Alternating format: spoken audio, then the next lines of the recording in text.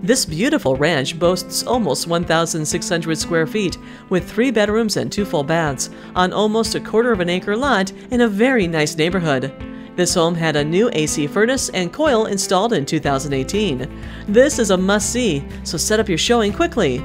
Take a look around your future home by contacting Michael Powers to schedule a tour.